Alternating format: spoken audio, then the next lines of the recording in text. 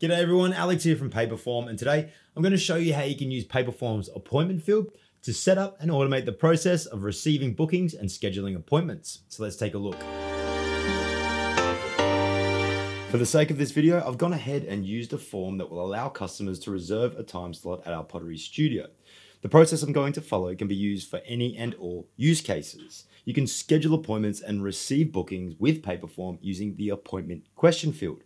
Furthermore, you can connect your Google Calendar, which will automatically sync, creating new events within that calendar, as well as checking your availability.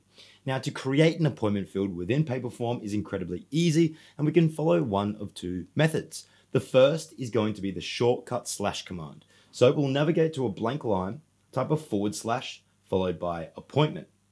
Then select appointment from your given options, and there you have it.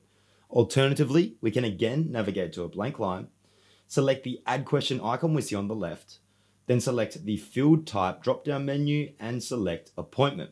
Now I'll delete one of these before we move on. There we go. Next, we'll look at connecting your Google Calendar. Connecting your Google Calendar will sync your appointment field and automatically create events within that calendar. It will also check your availability to ensure that you are not double booked. Connecting multiple calendars to the appointment field will allow you to check the availability across your entire team.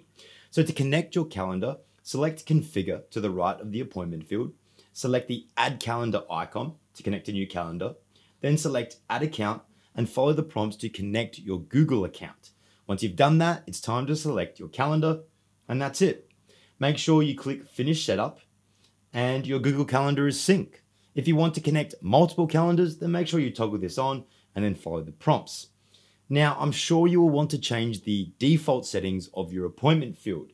Remaining in the appointment field's configuration, and more specifically the settings tab, as we can see selected at the top there, let's work through this. Now, the appointment time zone is the time zone in which appointments will be made on your calendar. This by default will be the time zone set to your Paperform account while the submitter will automatically view their location's time zone, but this will be automatically converted once they book. The appointment mode refers to how you want your appointments to be made. Minutes will allow your submitter to book or schedule in blocks specified by a start time and a length of time, which is perfect for hair salon or barber bookings, consultation appointments, or simple meetings or services. While the days option, which is pretty self-explanatory. This option will block out entire days for such things as a booking of a guest house, renting a car, or a multi-day mountain tour. All right, we've looked at the settings. Now let's head to the event details. And it's the event details where we can change, well, the event's details, including the title, description, and location. And these details will be saved to your calendar, as well as displayed within the submission results. We can use answer piping to populate the details with responses our submitter provided. So I'm going to select the icon on the right hand side there, and I can change the title of the appointment to read meeting with, then pipe the submitter's response to the name question. Moving along, the start time interval controls the time between appointment start times if using a connected calendar, and say you have a start time interval of 15 minutes. The appointment runs for 30 minutes. If someone takes a time slot at 9.15, the appointment will run from 9.15 until 9.45. This means the next appointment cannot be booked until 10 a.m. given that 15 minute start time interval.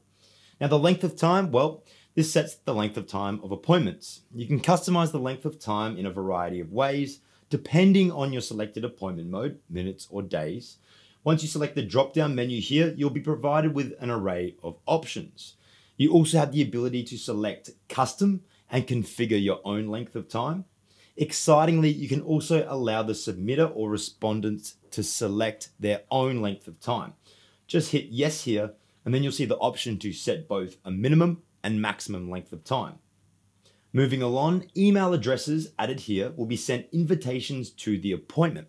You can enter email addresses manually or again use that process of answer piping. However, ensure that you separate multiple emails with a comma. When connected to the Google Calendar, we will send your default Google Calendar event notification to all included invitees. Additionally, you can toggle on send invite from Paperform to send the default message. Now, heading into availability, it is here that you can set, well, your availability. Now, I know that Mondays are incredibly slow for me, so I don't want to allow any appointments until 10 a.m. So we'll select Monday and configure that as so. While Wednesdays I usually save for date night, so I cannot be working late, so we'll select Wednesday and configure that as well. Blockout dates allow you to set dates or ranges of dates for when you are not available. And this is awesome for when you're blocking out holidays, office closures, or to make sure people simply can't book you on a specific date or a specific range of dates. Number of days in advance and minimum hours or days notice. Make sure you have enough time or notice for new appointments. Maximum number of appointments per day. Well, this sets a limit for the total number of appointments you want to be allowed to be booked within a singular day. And using minimum time between appointments, days minutes, to require a gap between those appointments. Now that we've set up our appointment field, let us quickly look at how we can receive payments for our time because time is money. I'm quickly going to head to configure payments and it is here that you can connect your payment gateway to begin accepting payments on your form. But let us scroll down to custom pricing rules as it's this feature that will allow us to attribute a price value to the form depending on the submitter's response to particular questions.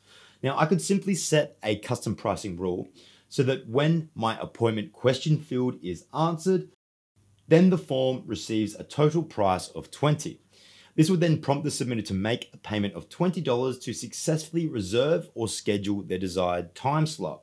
You also have the ability to set up much more complex pricing using the calculation field. So be sure to check out this video's description for some helpful articles on how you can use both custom pricing rules and the calculation field. Now, something else that I'd like to note is the ability with Paperform to connect to your favorite apps through direct integrations or using an integration platform such as Zapier or Make. You can use one of these platforms to share the appointment details with another app or a specific calendar. Perhaps you need to notify a specific Slack channel once a booking has been successfully received. And that's all. Now that we've set up the appointment field, let's take a look at the live view. So selecting the eye icon in the top right corner of the form editor we can view the live view of the form. We'll scroll down and submitters are ready to begin booking, scheduling, or reserving. Well, I hope this has been a helpful video. You now have the ability to accept appointments for anything from a brief meeting to renting out your guest home.